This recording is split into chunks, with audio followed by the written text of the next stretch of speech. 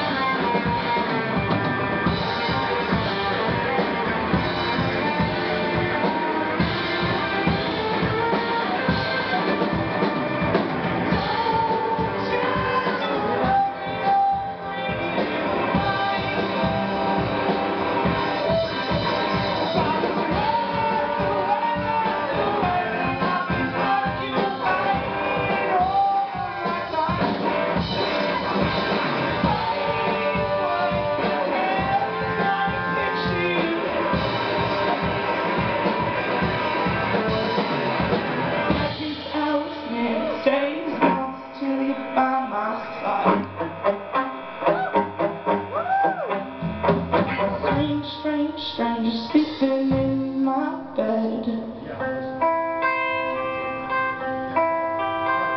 Now sleep for me is out of the question. Thanks very much for a Christmas program from Boston. Stay tuned for Stay Appreciate it.